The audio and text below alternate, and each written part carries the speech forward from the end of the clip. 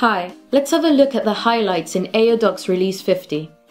Accessing your libraries just became easier. In the AODocs homepage, the filters to select which libraries to display are now available on the right side panel. Press the star button to view your favorite libraries. Use these filters to show which types of libraries to display. Here, I can only see my team folders. Now, I can see my team folders and my secured folders.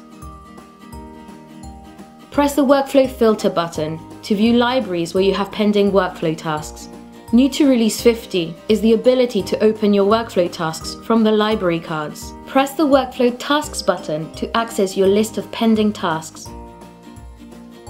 If you're a library administrator, you can access the library settings, permissions, and labels, all from one drop-down menu. For Release 50, we have made it possible for administrators to define a default folder for documents created from a template. When end users create documents from this invoice template, by default, the documents will be stored in this folder. Administrators can filter out workflow actions so that documents with a given action available aren't displayed in the list of pending workflow tasks. The Workflow Emails pop-up has been revamped to make it more user-friendly.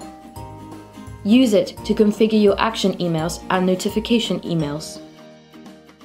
We have improved the way you export documents. On the Document Export pop-up, you can now view your favorite libraries in the Destination Library Picker.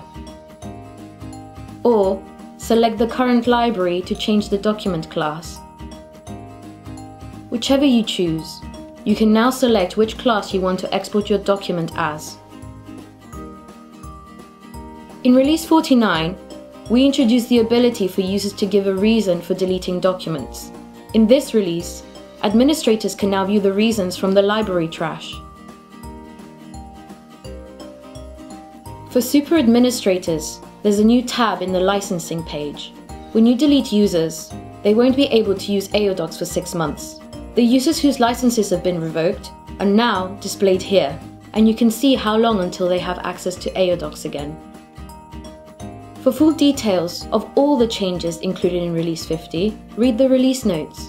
We're always working on improving your AODocs experience, and we're currently working on revamping the document creation flow, workflow reminders, and more See you next time.